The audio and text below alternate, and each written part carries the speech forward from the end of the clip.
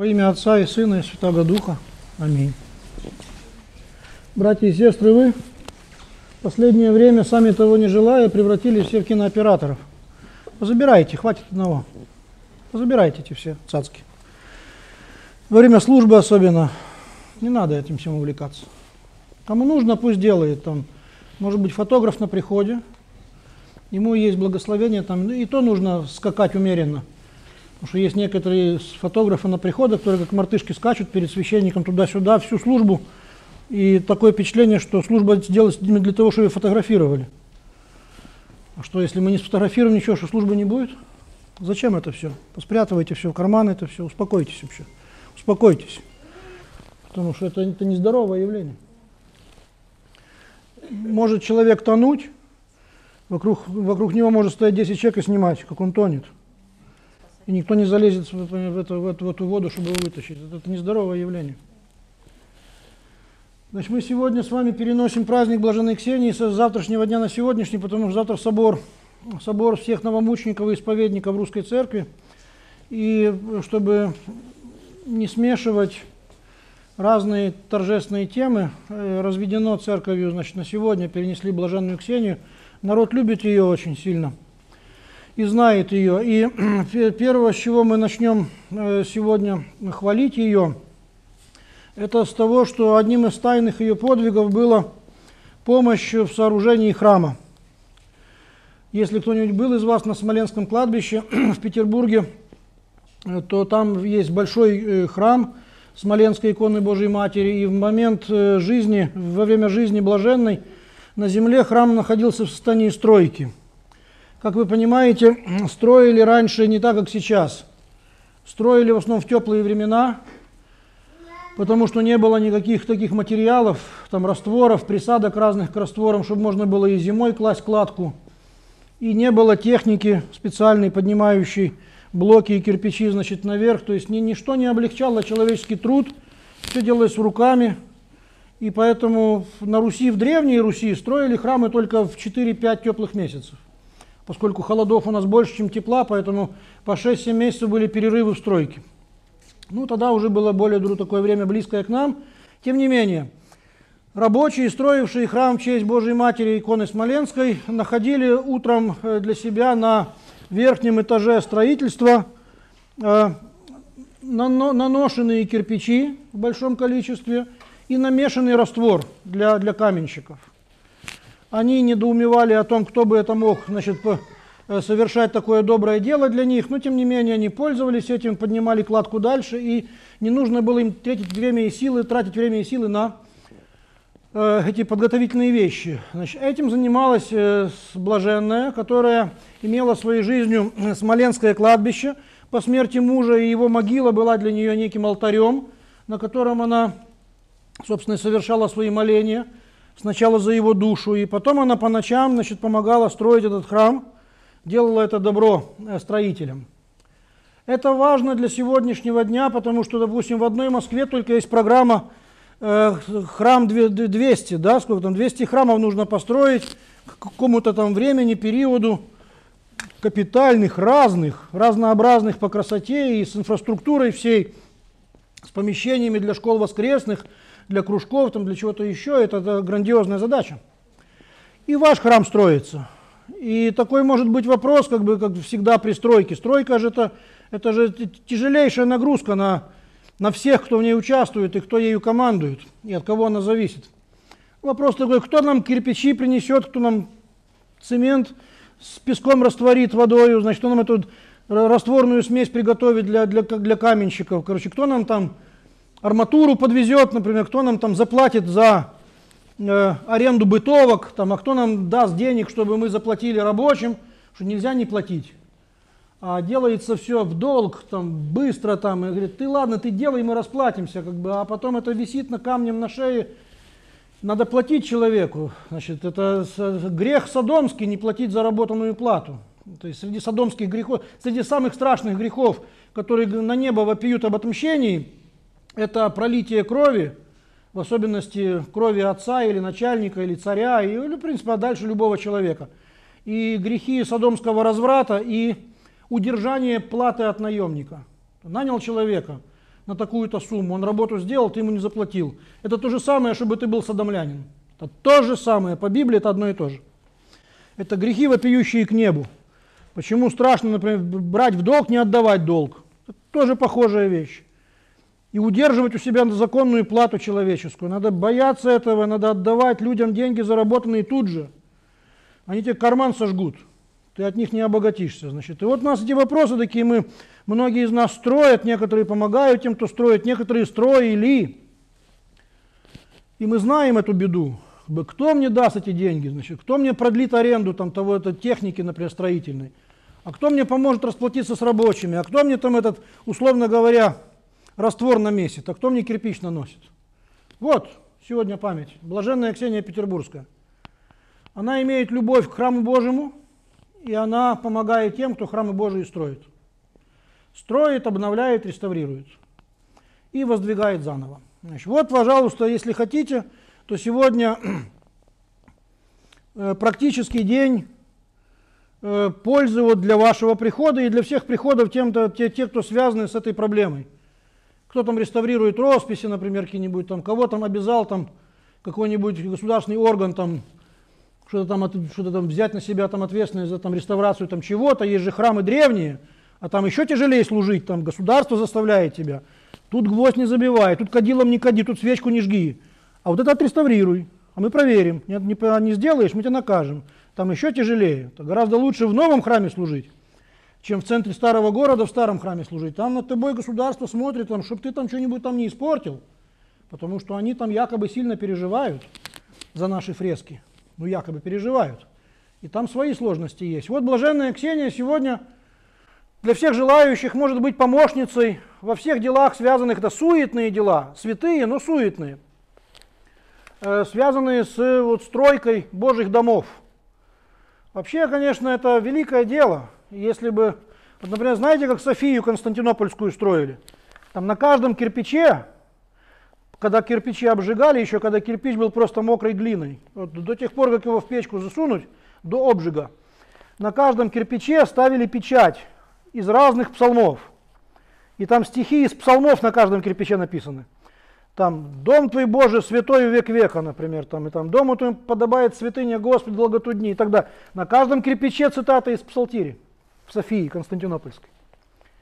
А когда рабочие клали камни, то они клали 12 камней, 12 там кирпичей, потом стоп, отче наш читали. И дальше 12 камней, стоп, отче наш, и дальше. И при этом всем они построили ее там что за 5 или 6 лет всего лишь, это огромное здание. А у нас недавно реставрировали Большой театр, реставрировали в 8 лет. Реставрировали при всех современных технологиях. А тогда строили только руками, без кранов, без бетономешалок, без ничего. Еще и на каждый 12 кирпич останавливались, чтобы чинаш прочитать, каменщики, представляете? Оно поэтому стоит во веки веков, что оно с Богом построенное. Потому что строить храмы это великое дело. Если ты купил кирпич для храма, знаете, именные кирпичи, значит ты будешь в этом храме. Потому что э, написано в Библии Святой, что говорит, вы сами, как живые камни, устрояйте из себя жилище духовное Богу. То есть мы сами живые камни. Мы сами строим эту великую церковь Божию, которая из людей состоит, и каждый из нас это камень в этом доме. Поэтому мы живые камни, мы стоим на камне веры, камень Христос. И вот если даже кирпич купил в храм, этот кирпич встанет там во имя Твое, в память о Тебе. И этот кирпич за тобой пойдет на страшный суд – и когда в тебе ничего доброго не будет, только одна суета и злоба, и зависть, и обжорство, и лень, и дурость. А этот кирпич перед тобой станет, перед тобой и Господом. И Господь на кирпич будет смотреть на тебя. Скажет, ну хоть кирпич тебе есть, Господи помилуй.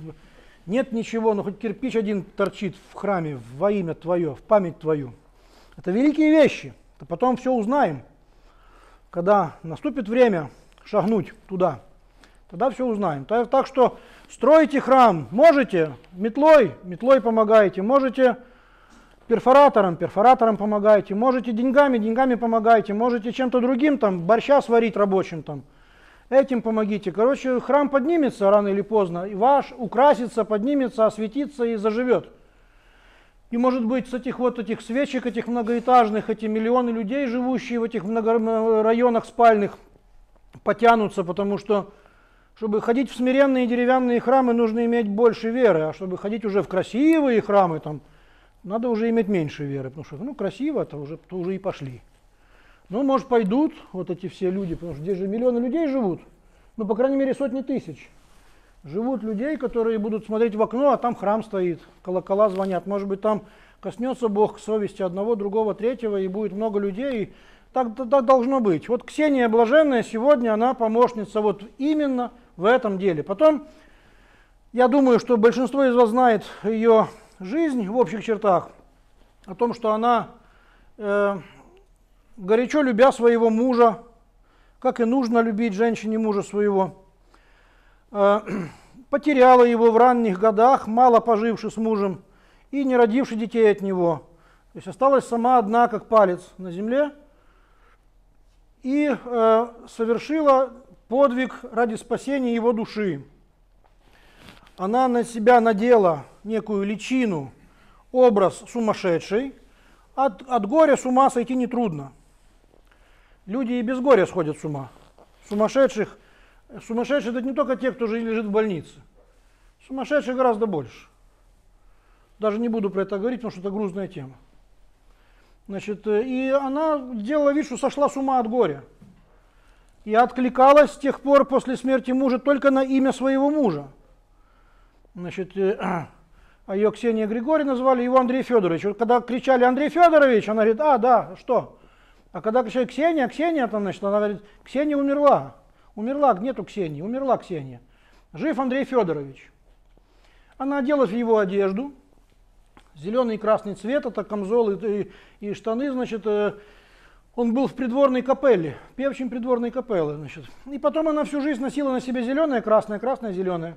Зеленую кофту, красную юбку там, или красную кофту, зеленую юбку. Вот. И стала молиться Богу за своего мужа, чтобы ее муж вошел в рай, чтобы Бог простил ему все грехи, чтобы они в раю встретились, ну и так далее, и так далее. Существует такая, знаете, заместительная вера, когда, например, в Евангелии мы читаем, когда некая мама приходит к Иисусу Христу и говорит ему, помоги мне, дочь моя беснуется. Не дочь бесноватая приходит, а мама. И за молитву матери Христос исцеляет дочку, которая беснуется. Или мы читаем в Капернауме, перед глаза Иисуса Христа спускаю через крышу расслабленного, парализованного, четыре человека, которые разобрали крышу, спустили прямо к Христу. Их э, пишется там э, так в Евангелии, что Христос видит веру их, то есть спустивших этого больного, и говорит расслабленному там, дерзай, там, значит, вставай, там, иди, значит, исцеляет его. То есть э, за молитвы одного может быть очень хорошо другому. Не только каждый сам себя вымаливает, но вымаливают люди друг друга. И даже, знаете, лучше вымаливать кого-то, чем себя с надеждой, что кто-то вымолит тебя, а не ты. Даже может быть, э, можно даже резко сказать, забудьте и отчайтесь, там, значит, думать, что, там, что вы сами себя вымолите. Что буду молиться, молиться, молиться, молиться, сама себя вымолю, сам себя вымолю. Может быть, даже, даже это можно и забыть. Но вот если ты будешь вымаливать другого, а другой будет вымаливать тебя, здесь не будет места гордости – ну, как бы, мне чем гордиться? Если меня другие спасли, зачем чем мне гордиться? А когда ты молишься за других, получается любовь. И вот так получается заместительная такая вера. Спасается один за другого. И Ксения стала вымаливать своего мужа. И нет, нет сомнения, она спасла его, она его вымолила, а вместе с ним и других. Значит, вот тут, братья и сестры, есть такая серьезная вещь, которую стоит напомнить. Да, что вот у святых есть такие несколько пословиц на одну и ту же тему. У святых руки в локтях не гнутся. Представьте себе, что мы за столом сидим. Что такое рай? То вот если бы стол был накрыт, и мы были бы святые, у нас бы руки в локтях не гнулись. То есть я могу взять любую еду со стола, но в рот себе ее положить не могу. Могу кому? Могу другому. Ты скажешь мне, дай мне вот этого, я даю тебе. А себе не могу, у меня рука в локтях не гнется. Тогда я тебе говорю, ты дай мне это, или дай мне вот это. Ты берешь, даешь мне. И так, и мы как бы как калеки, как бы друг друга кормим и спасаемся. Потому что руки как раз в локтях-то гнутся. Легче всего слово «мне», «дай», «мне». Это самое слышимое слово.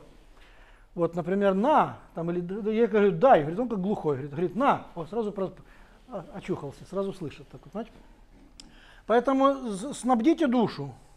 Надо спастись э, переживанием о ком-то, и страданием о ком-то, и молитвой за кого-то, и помощью кому-то, и нужно все это отдавать, как Христос себя отдал миру, людям.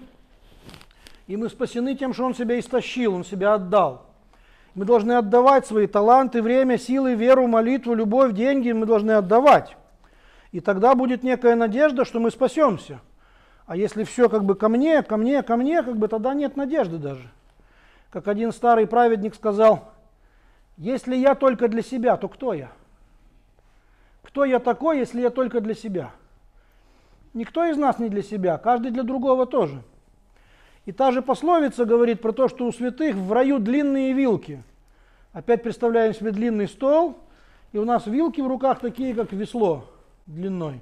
Мы можем наколоть любую еду, опять-таки, но не можем ее отправить себе, потому что у нас не маленькая вилка, а длинная, и можем другому дать. Так было с Ксенией. От чего родилась святость? От того, что она сильно любила мужа. Ну, любая женщина скажет, ну, что такого, я тоже сильно люблю мужа. Ну, хорошо. Но она его так любила, что после смерти мужа уже у нее мыслей больше не было. Через год, через два траур поносить, а потом найти себе какие-нибудь такие приятные занятия еще в жизни. У нее не было такого. Она любила одного мужа. И любила его так, что она умерла вместе с ним. Вы много видели такой любви в жизни? Чтобы мужчина так любил женщину, чтобы умерла жена, и он умер вместе с ней. Пошел в монахи. А что еще, если дети взрослые? Если дети малые, нужно детей поднять.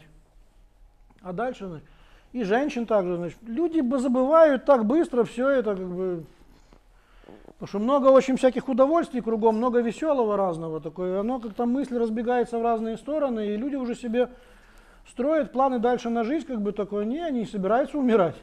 Ну ты умер и умер, а я еще живу. А она имела такую любовь, когда он умер, она тоже умерла. И она посвятила свою жизнь, она еще мало то она имела веру Божию, чтобы любить его так, чтобы и за гробом быть вместе. И она хотела, чтобы он был в раю, причем точно в раю, не так, чтобы там я в раю, а ты в аду. Ну что за жизнь-то, да? Это тоже не, никакой радости. На веки веков нет радости. И она взялась его вымаливать. На это способно женское сердце, как бы, женское сердце, в принципе, способно на такую жертву, потому что оно должно любить, должно иметь самопожертвование такое. И сначала блаженная Ксения не была известна людям как э, исцелительница, помощница и так далее. Вот как там поется в Кандаке, значит, «Днесь светло ликует град святого Петра», Петроград, Петербург. «На твоя молитва надеющийся, Ксения блаженная, ты, Бог, радуйся ему похвала и утверждение. Множество скорбящих находят себе радость и утешение возле ее гроба. Множество, большое – больные исцеляются, враждующие примиряются, кто хочет выйти замуж, жениха находит, кто хочет жениться, находит добрую невесту, кто потерял работу, работу находит, кто там, значит, имеет значит, печаль от начальства, значит, начальство меняет сердце к нему. Вот житейские такие бытовые вещи. Сотни тысяч случаев. Но началось все с очень, с очень маленького. Началось все просто с того, что она очень любила мужа, и все. А потом, когда муж умер, он забрал ее сердце за гроб. Она, у нее муж был в сердце. Когда он, он пошел туда, а то и сердце у нее вырвал и забрал с собой. Она уже не жила. И начала молиться за него, а потом через него начала молиться за всех. Поэтому смотрите, если что-нибудь хотите делать большое, когда-нибудь захочется вам сделать что-нибудь большое, то вы, пожалуйста, знаете, что большое делается только если ты сделал маленькое. Если ты маленького не сделал, большого у тебя не будет. И все большое вырастает из очень маленького.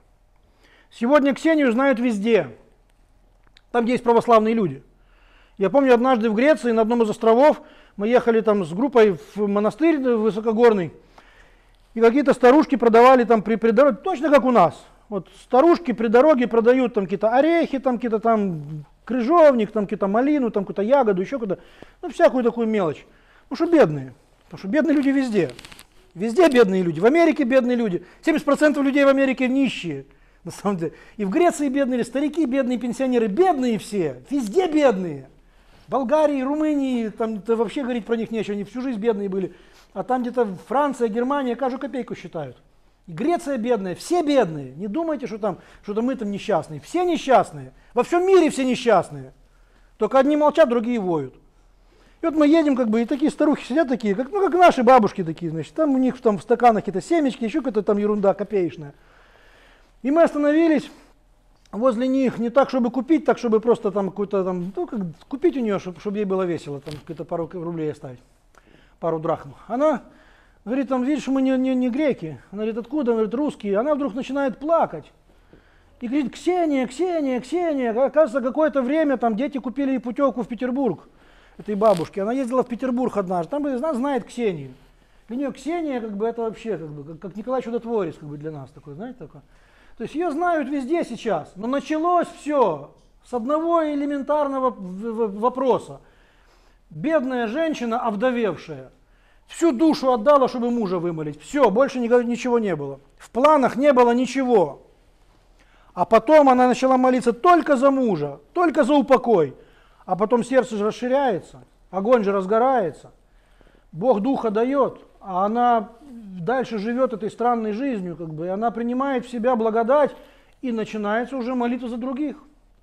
Потом, потом начинается молитва за других. Начинать нужно всегда с малого, с маленького, только за детей там, только вот за, за это, только вот за это. А потом сердце же, оно же живое, оно же раз, разгорячается, оно расширяется, оно принимает больше, оно хочет больше. Вот еще один урок – то есть там первый урок был про храм, она поможет, она реально поможет. Не только вам здесь, в этом храме, но и в других храмах будет помогать, потому что ей теперь трудно. Она теперь на небе, она с Богом, она будет всем помогать. А теперь, теперь и весело, и радостно, и легко помогать всем. А второе, то, что начинать нужно с маленького. И нужно спасать кого-то, помогать кому-то, не думать только о себе. Что в рай нельзя зайти человеку эгоисту. Эгоистов в раю ну нет вообще их там. Причем неважно, грешный ты эгоист или святой эгоист. Ты можешь быть очень аккуратненький эгоист. Только весь такой чистенький, аккуратненький, такой культурненький такой, так что так матом не ругаешься, там водку не пьешь, на работу ходишь такой, ну эгоист. Ну что в раю эгоистов нету. Ни культурных эгоистов там нету, ни грязных эгоистов там брутальных нету, там никаких эгоистов нету. Там все распятые, там все себя отдали. Что имели, то отдали. Вот у меня есть знания, я тебе отдам их. У меня есть деньги, я поделюсь с тобой. У меня есть силы, я тебя защищу. У меня есть то, я тебе это... Вот, что у меня есть, то я тебе и отдам, короче. Вот что у вас есть? У вас же у всех что-то есть. У вас же у всех что-то есть, вы не прибедняйтесь. Думаю, а что у меня есть? У меня, у меня ничего нету. Хе, секундочку. Это вы себя слишком рано смиряете. У каждого из вас есть что-то. Я не про карманы ваши говорю, не про сберкнижки. У вас есть какие-то таланты, способности, возможности. У вас есть все, что нужно, чтобы церковь была богата духом, духовными дарами. Так что вот делайте большое только тогда, когда сделали маленькое. А если хочешь сделать большое, а маленьким пренебрегаешь, значит ты глупый человек. Не будет ни большого, ни маленького. Вот вам еще один урок из блаженной Ксении. Ну а там еще много всего у нее. Во-первых, слушайте, Ксения, имя Ксения означает странница, правильно, чужестранка. Слышали такое слово ксенофобия? типа страх перед чужими. Чужой это ксенос, это Ксения, это чужая, чужестранка. В каком-то смысле люди все Ксении, ксеносы, потому что мы все чужие, мы все, там Писание называет нас странниками, что мы чужие, мы странники на земле. Потому что было время, когда нас здесь не было, все уже было, а нас здесь не было. Потом будет время, когда нас здесь не будет, все еще будет, а нас уже здесь не будет. Так кто же ты здесь, если не странник? Вот гостиница стоит – она построилась, я в ней не жил. Вот я в нее приехал, там пожил не три дня и уехал из нее. То есть она дальше стоит без меня. То есть гостиница стоит, а я туда зашел и вышел. Как бы. Вот этот мир это как бы гостиница какая-то.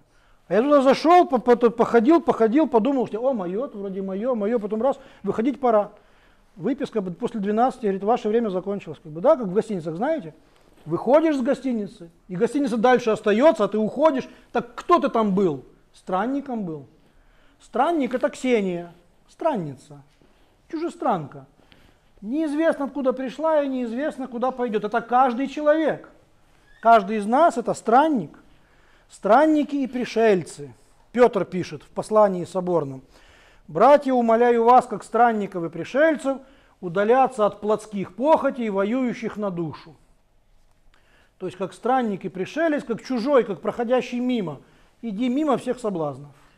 Не останавливайся возле соблазнов, не бери их в руки, не рассматривай их. То есть все, что соблазняет тебя, оставляй в стороне, потому что ты проходишь мимо. Ты странник. Что такое Пасха? Это тоже проходить мимо, тоже странствовать, то есть уходи, уходи отсюда, не оставайся здесь, проходи мимо. Из места рабства уходи на свободу. Это, это все это, это такая вот идея движения вперед, в том, что у нас впереди, ну, то есть мы здесь не имеем пребывающего града, но грядущего взыскуем. То есть мы ищем будущий город, называется Небесный Иерусалим, архитектором и устроителем которого является Бог. И мы туда хотим вселиться. А здесь у нас постоянного пребывания нет, здесь мы как в гостинице. И ваше жилье, которое на вас записано, ваша собственность, это все равно гостиница. Его нужно, конечно, содержать в порядке, чистоте, передать его детям потом значит, в завещании и так далее. Это, ваше, это ваш капитал, это ваше имущество, оно дорогое, оно нужное. Но это гостиница. И вы в ней постояльцы. И вы оттуда уйдете. Иногда заранее будете знать об этом, а иногда внезапно уйдете, что даже знать не будете. Что пора уходить, и вас просто возьмут и вытащат из вашего гостиничного номера. Поэтому мы все здесь Ксения. Понимаете? Не так, чтобы один там был путешественник, а я сижу на месте, никуда не двигаюсь, мне здесь хорошо, это моя земля, я буду вечно здесь жить. Такого нет ни одного человека. Где бы ты ни сидел, под деревом в собственном саду или в кресле в собственной квартире, ты, ты в гостях. Ты Ксения, ты чужестранец в этом мире. А где же моя родина? Там, где отец, отчизна. Отчизна где? Там, где отец. А где моя отчизна? Фатерлянд мой где? Отче наш, где он? И же еси на небесех. То есть, значит, значит, вот вам как бы, значит, тоже цель жизни такая, значит, родина там, отчизна там, вот, а здесь как бы место, время, временное пребывание, как бы вот ты идешь. Идешь э, и глядишь в спину тем, кто уже ушел туда и дошел. Вот мы сегодня с Ксенией глядим в спину. Потому что мы как бы идем за ней. Она прошла уже свою жизнь, прошла ее достойно, мужественно. Вы, многие из вас были, а те, кто не был, прекрасно понимают, что такое Петербург с его погодой. Что такое быть бездомным в Петербурге. Вот быть бездомным в Батуми, например, или в Сухуми, или быть бездомным в Константиноне, там, там, там тоже снег идет, там тоже холодно бывает. Но быть, например, бездомным в допустим, в каком-то сирийском городе или египетском городе, в Александрии египетской, например, это, я вам скажу, курорт для бездомных. А вот быть бездомной женщиной, у которой есть свои немощи, свои сложности, своя, и требуется, наоборот, больше комфорта женщине. Что она слабая, слабее, чем мужик. Мужик лег в сено, встал, тряхнул себе это сено и пошел дальше, а женщине нужно чуть-чуть помягче, чуть поаккуратнее, чуть то, чуть все. Сами знаете. Что такое быть бездомной женщиной более 40 лет в Петербурге, где тебя то ветром сдует, то, то дождем зальет, то мокрым снегом облепит? Что такое жить на улице, как птица, без крыши, над головой? 40 лет в Петербурге, женщине. Только представьте себе, если вы, например, бежите домой под дождем и хотите быстрее в дом скрыться, а постойте-ка лишние полчаса под этим же дождем. Подумайте, а Ксения, как она вообще жила вообще без крыши над головой столько лет? Как вообще? Не заболела, не умерла, с ума не сошла. Сохраняла здравый разум, она только по наружности была сумасшедшая. Она была здоровая женщина, она, у нее все было в голове в порядке. Откуда столько? Ты думаешь, боже, она так любила мужа своего, что ради него все. Такая была любовь сильная. Из любви рождается святость. Кто никого не любит, тот не может быть святым. Кто никого не любит, не может быть святым. Кто ничего никому не отдал, так что вот мы сегодня к блаженной Ксении, притекающей совместно, соборно, со всей церковью, со всеми теми, кто сегодня там, на Смоленском кладбище стоит возле ее могилы, где написаны ее слова «Кто знал меня, пусть помянет душу мою для спасения своей души». Так написано было на ее могиле. Сейчас там уже часовенка, там непрестанно идет пение молебное, оздравное, упокоение. Там люди знают это место, они знали его даже в годы гонений. Так что мы сегодня просим у блаженной Ксении, конечно же, и помощи в стройке наших храмов. Что все, кто строит храмы Божии, получили помощь Божию и через Ксению тоже от нее. Чтобы мы поняли, да, что мы с вами все-таки здесь пришельцы. Мы совершаем путешествие на родину, в небесный Иерусалим. Это мать и всем нам. И чтобы мы с вами умели любить друг друга, отсюда вырастает святость. И умели жертвовать собою, и не пренебрегали маленькими делами, потому что там, где есть маленькое, там большое будет. Где маленькое есть, там большое будет. А где маленького нет, там ничего не будет. Ни большого, ни маленького. Поэтому с маленьких зернышек вырастают большие дерева. С маленькой искры зажигается большое пламя. От маленькой любви рождается вселенская святость. Это все Ксения. Не только она, таких людей много. Много, много в раю святых. Много у Господа друзей. Много тех, кто любит Его и кто любит их. И кого любит Он. Э, будем благодарны Создателю в Троице Единому за литургию, за причастие, за День памяти Святой, за, за все то, что мир движется, продолжает двигаться к своему финалу, и мы живем на этом космическом корабле, мы же летим с вами, Земля же летает в космосе. Мы, по сути, большая команда одного космического корабля. И мы летим к цели, туда, к небесному Иерусалиму. Жизнь продолжается.